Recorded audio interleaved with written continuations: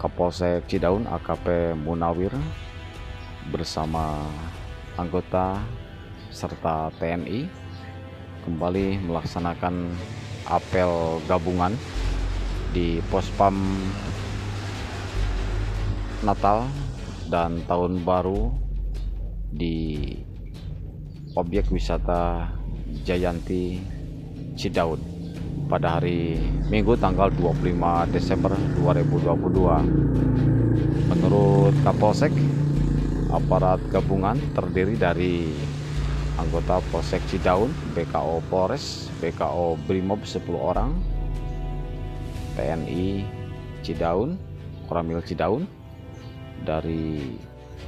Pol PP atau Porkopim Jam petugas gabungan untuk melaksanakan pelayanan kepada masyarakat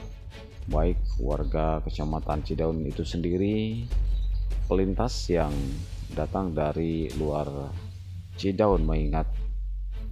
Cidaun ada jalan lintas selatan yang membentang dari Sukabumi, Sidang Barang, Cidaun, Garut hingga Pangandaran untuk memberikan rasa aman pula kepada mereka yang hendak berwisata ke Pantai Jayanti, Cemara dan